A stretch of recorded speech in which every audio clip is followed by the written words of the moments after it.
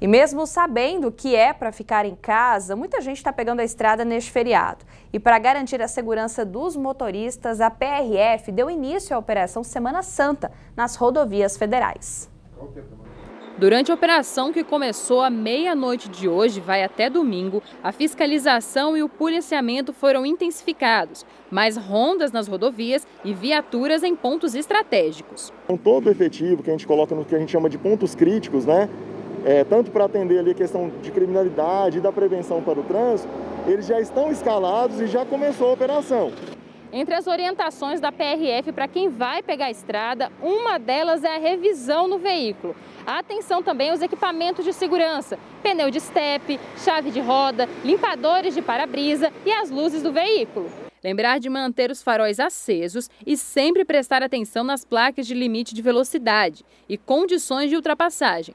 Todos os ocupantes do veículo devem usar o cinto de segurança. O lema da campanha nacional de trânsito é: no trânsito a sua responsabilidade salva vidas.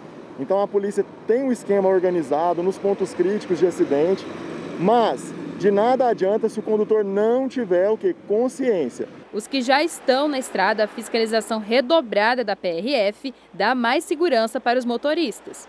A presença da PRF nesse momento, ela ajuda a inibir aí as pessoas que estão trafegando de forma incorreta ou vindo de festa, essas coisas que ocorrem bastante. Né? Para quem ainda pretende viajar, o arcebispo de Goiânia, Dom Washington Cruz, deixa uma mensagem importante. Mas aqueles que precisam se deslocar pelas estradas, que tenham a consciência do cuidado com a própria vida e a do próximo, que tenham uma conduta responsável ao volante, respeitando as leis do trânsito e evitando acidentes.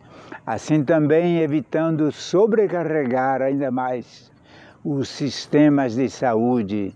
Deus abençoe a todos e que, cuidando uns dos outros, possamos celebrar a Páscoa do Senhor com a esperança e certeza de dias melhores.